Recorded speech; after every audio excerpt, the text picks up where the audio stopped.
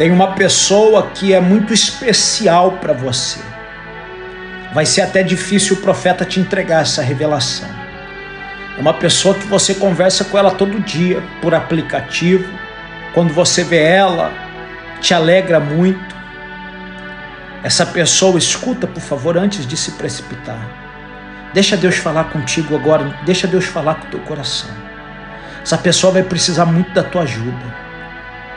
Essa pessoa vai depender muito da tua fé, porque aquela pessoa, ela não tem tanta fé, mas você é uma pessoa de fé.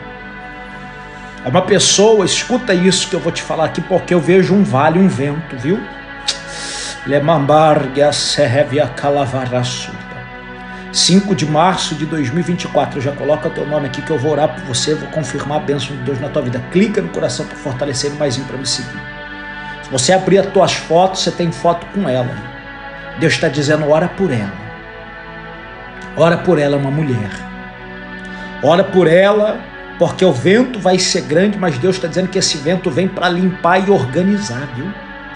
Esse vento vem para direcionar ela para uma fase de novidade, que é badaraço.